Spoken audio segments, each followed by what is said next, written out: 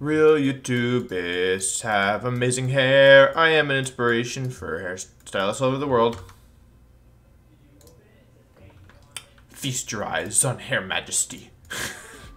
Wait, that's actually really funny. I didn't mean it that way. Like, people are gonna think that I'm just really funny, but I am.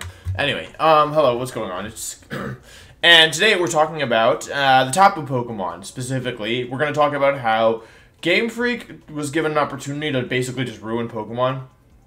Definitively, like not not like guaranteed, but like yeah, like pretty much just like have Pokemon be very, very, very bad for an indefinite period of time, and instead they didn't take it. And I kind of want to talk about the implications of that and how sometimes like yeah, like we're very lucky that Pokemon don't get every like potential tool given to them. So in the Isle of Armor DLC, there was an interesting, uh, a, a, couple interesting moves added. Each move got its own like signature, uh, or each each typing got a new got a new um, special attack via uh, the the tutors. And so some of these like were very good. Some of them were kind of mediocre. Like the bug one isn't very good. The water one's good, but like it's not distributed that widely, and like it's a physical attack, so it's not like that widely used. Like I I, I don't even know what the animation looks like for the water one.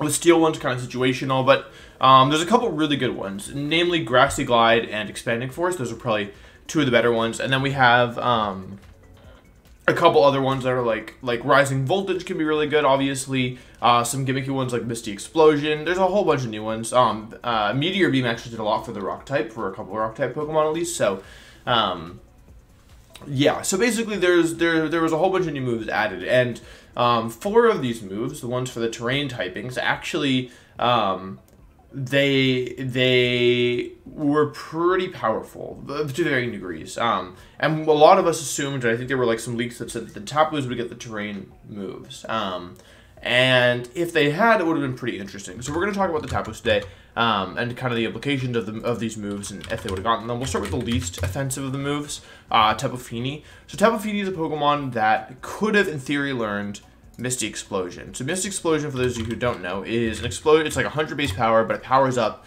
um, to, I believe, yeah, it's only 150 base power in, in, Misty Terrain, but it's a special attack, so you can't intimidate it. Um, of the four moves, I think this one would have seen the least play. Um, like, it's not that Misty Explosion is bad, it's just that it's not great.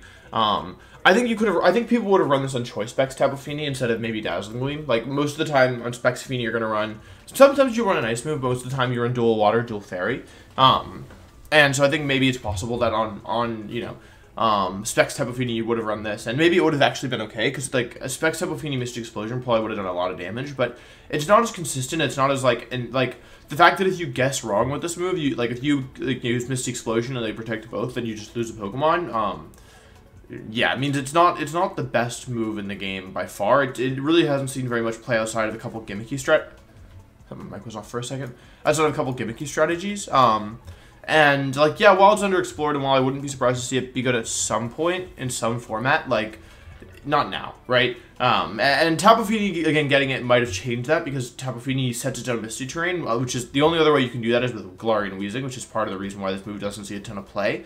Um, However, yeah, like I don't know, like I, even if Tapu Fini got it, I don't think it would have been that offensive um, because it pretty much only can be run on Specs or Scarf set. I think. I think most of the time you're always going to want Muddy Water uh, or Scald, and then uh, Moonblast, and then like you can run Misty Explosion, but most of the time like Tapu Fini has such amazing move pool, like Soak, uh, Nature's Madness, Heal Pulse, Swagger. Um, wait, does it not get Swagger anymore? I think I it Swagger. Okay, they removed Swagger, which is probably good. Um, Icy Wind, like Reflect Light Screen, all this stuff. Like, the Tapu Fini is known for having a... Oh, it actually yeah, gets Taunt. Wait, it gets Iron Defense? Oh, Calm Mind. Um, play rough. yeah. Um, yeah, so... Like, most of the time, you you have... There's the opportunity cost of running Misty Explosion, which, like, a lot of the time you're not even going to want to click, and it's only in certain situations, and even then you can get it wrong. Like, it's not super high.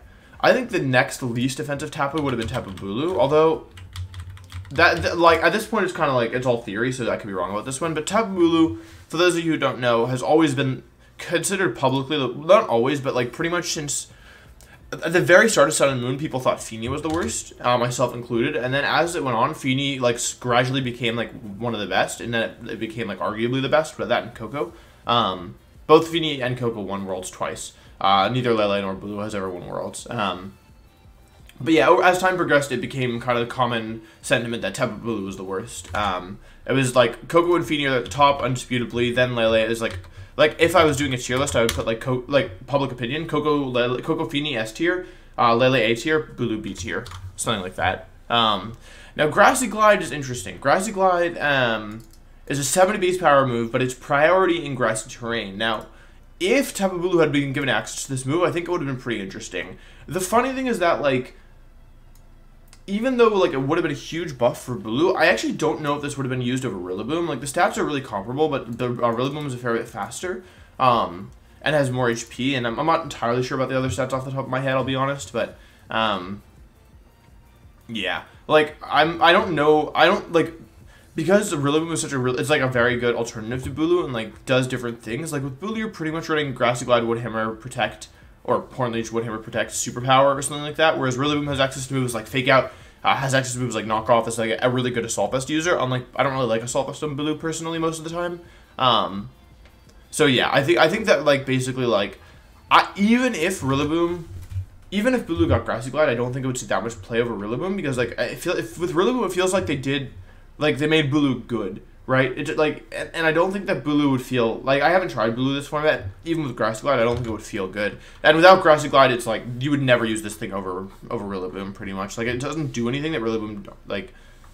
I don't know. Like I don't know why you'd ever use this Pokemon instead of Rillaboom, instead of yeah Rillaboom, which is unfortunate because I was a big Tapu Bulu fan for a while. I'm still a big Tapu Bulu fan. I like Tapu Bulu. Um, but yeah, between no Grassy Glide and the other thing that people talked about is another leak said that this the these Tapus would get play rough finally. So for those of you who don't know, there's two Tapus who are typically specially oriented. That's Tapu Lele, Tapu Fini. Two that are physically oriented, Koko Bulu. Uh, and in Generation 8, uh, Lele and Fini, the special Tapus, were given Play Rough, but Bulu and Koko, the physical Tapus, were not given Play Rough. So it doesn't have any physical fairy coverage, so despite being a fairy type, it actually is the one Tapu who like can't really use any fairy type attacks, because like Koko often will go special and run Dazzling Gleam, but Bulu just can't do anything. So um, no Grassy Glide, no Play Rough means, yeah, like with Play Rough, you could argue that you could argue this thing has a niche over Rillaboom, like because you can actually have fairy coverage, but without it, like you're running superpower for coverage, right? And like Rillaboom could do that anyway. So, yeah. Um, next up is Tapu Lele, which would have been like this would have been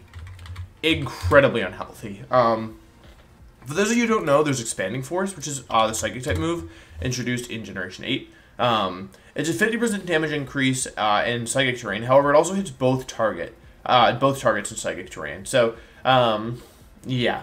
Uh, this is a spread move powered up by Psychic Terrain, not even talking about the additional Psychic Terrain powering up for being a Psychic type attack. So, um, this would have been a nightmare. Tapu Lele is like a really annoying Pokemon to play against because it shuts off priority moves, which is like a lot of the way that you play defensively is by using moves like Fake Out or Prankster Taunt, stuff like that. Um, Lele typically did one of two things. It was either Scarf um, or Specs. Although Life Orb and Z-Move also had some had some usage as well, but it was it's, it's typically a, an offensive Pokemon. I would describe it as like a glass cannon, but it's just it's not that glass. Like and and um like some people like Vieira had success using really bulky Specs Tapu Lele, um and and dropping speed, pairing it with like a Tailwind user like Drifblim. So this thing would have been a nightmare. I'm just gonna I'm just gonna say it. This thing would have been an, an actual nightmare if it could have clicked like expanding force given its stats.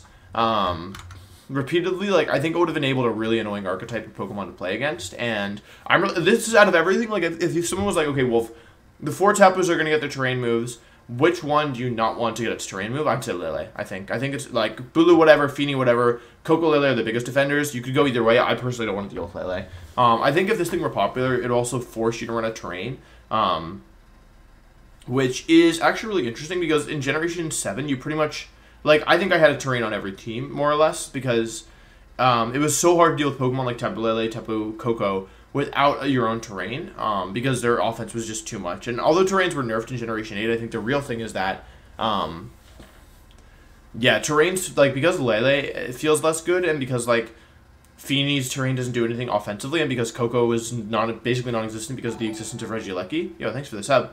Um, with all these factors combined, it basically changes the game where like terrain is like a lot less. Terrain is still good, but it's a lot less essential. Like it really felt essential in Generation um, Seven, and I, I think that's really healthy for the game. But if one of the Tapus becomes over, well, if Lele or Koko becomes overpowered, um, or Bulu, I guess, but it's just hard to imagine Bulu. It basically, it, like that's the reason that terrains were so necessary is because like it was it's one of the best ways to stop Tapu Lele is with a different tap to turn off psychic terrain, right? You give this like expanding force, it enables a whole archetype, and it, it, it basically ensures you need to turn off terrain. Um, so yeah, I don't think it would, I don't think it would go well. So I'm really happy that this thing did not get expanding force. And then last but not least, we have Tapu Koko, who did not get rising voltage. Uh, rising voltage is a 70 base power move that doubles the power of the targets on the ground uh, in electric terrain. So um, 140 base power is nothing to scoff at. Additionally, the maximum power is 140. Excuse me. So this thing would have also been extremely problematic, I think. You have taught Tapu Koko Rising Voltage. It's, it's, it creates a similar situation to Tapu because, like, you can't let Specs or Life Orb Koko just click Rising Voltage every turn for, like, yeah, like 140 base power plus Life Orb or Specs plus Electric Terrain, plus Stab, right? Like, you would basically need to be overrating its terrain, and when you consider that, like, Tapu Koko can use Volt Switch, it would have been really strong. You would run Volt Switch, Protect, Dazzling Gleam, and uh, Rising Voltage, and like I can't guarantee that it'd be like amazing, but I think it would be pretty scary personally. Um, Landorus like there would be counterplay, and like Regieleki helps as well. Um, but yeah, like it, it would have, it would be a very very very scary Pokemon, and again, it would it would I wouldn't say that this Pokemon on its own would um, would force like terrain to be on every team because like there is counterplay. However, it, it still wouldn't be good. I think. I think it wouldn't be good for the game. It would turn Koko into like a lot like Tapu Koko won Worlds twice, right? And that was without that was with like I mean yeah people could run Z moves, but um, that was a one time effect. Whereas Rising Voltage is like it has max move like in Electric terrain it's a max move every turn um, that you click the button, so that's scary. Um, additionally, Tapu Koko can reset its own Electric terrain under like mid game situations, like once you take a KO by just Dynamaxing. Um, yeah. So I don't know. I think I think this thing would be maybe not super toxic because I think there are the tools in the metagame to deal with it. Amoonguss, um, Rillaboom, uh, you know, uh, Regieleki, Landorus T. Like there are there definitely are options here. However, it's still pretty scary, right? And I'm I'm I'm happy that this is not a Pokemon that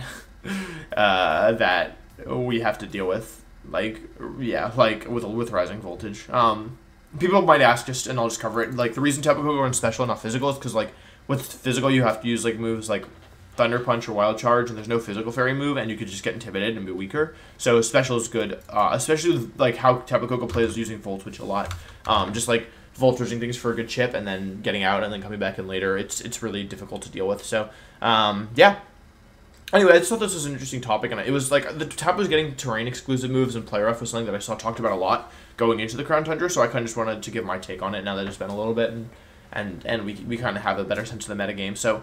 Um, yeah, thanks very much for watching. I hope you enjoyed. Uh, let me know what you want me to talk about next, and I'll see you tomorrow for the next video. Goodbye.